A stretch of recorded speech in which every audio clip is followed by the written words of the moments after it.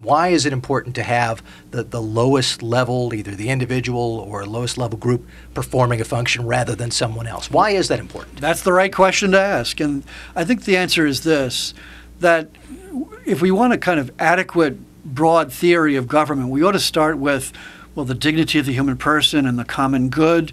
We want a society that really tries to help all individual human beings to achieve the fulfillment that they want.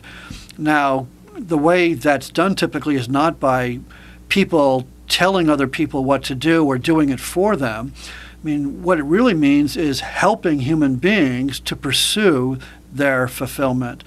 And that means that higher levels of association should not displace the initiative and the, the activity of lower communities and of individuals.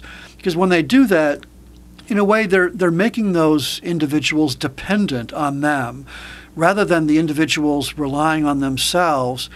And when individuals rely on themselves, they have to do things, they have to uh, have initiative, they have to develop their talents and abilities, and that really helps them to develop as human beings. And that's a good thing. That's what government should want to do to create the conditions where people are able to develop themselves and become better human beings.